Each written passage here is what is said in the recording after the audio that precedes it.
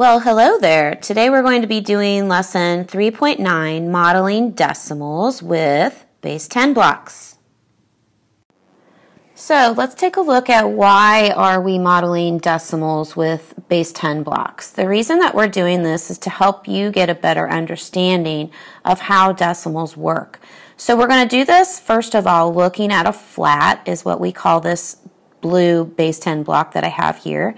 And if we were going to look at this more in depth, we would see that if we counted all of these squares, there would be 100 of those tiny little squares.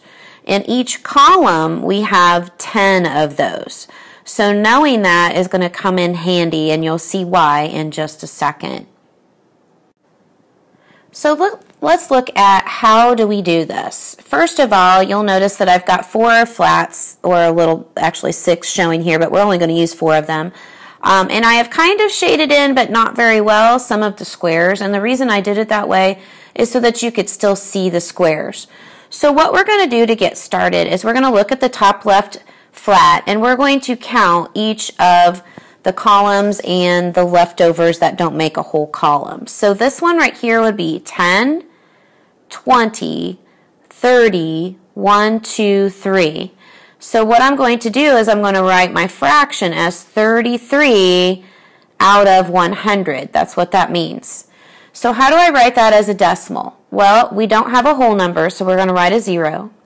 We're going to place our decimal point, and then we're going to write our 33 hundredths. So how do we read that? 0 and 33 hundredths.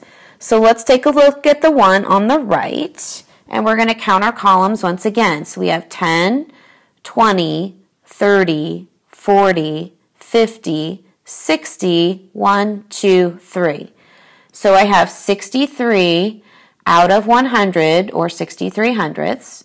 And then I'm going to write my decimal. No whole number, so 0 decimal point, 63. So I read that 0 and 63 hundredths.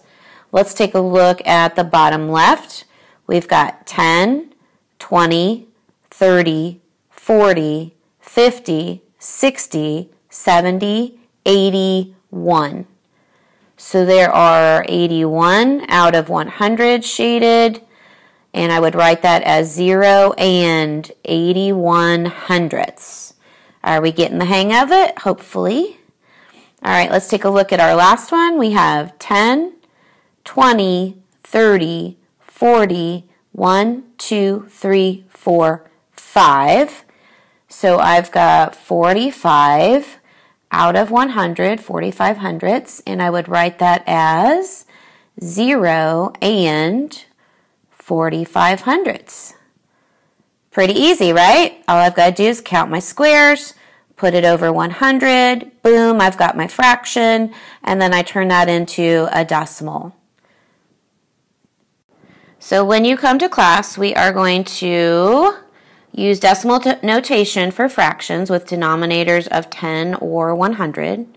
We're going to use a model to help express a fraction with the denominator of 10 as an equivalent fraction with denominator 100. And of course, we're going to do that using base 10 blocks. Bye for now.